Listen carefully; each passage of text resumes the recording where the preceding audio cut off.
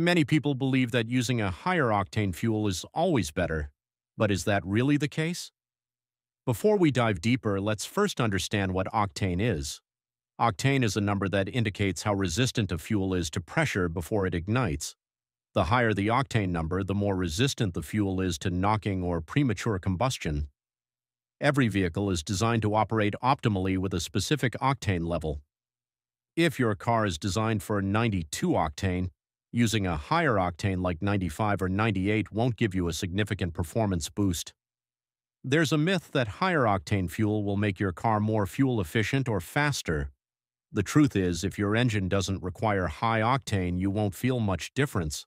In fact, you're just wasting money on more expensive fuel with no real benefit.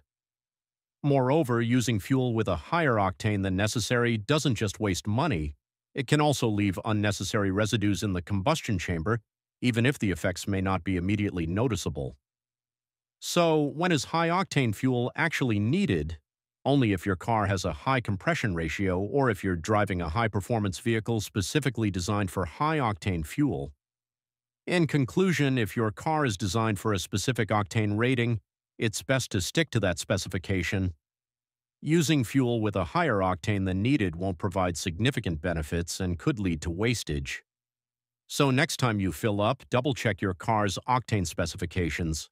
Choose wisely, save fuel, and keep your car running at its best. Want more cool tips and myths busted?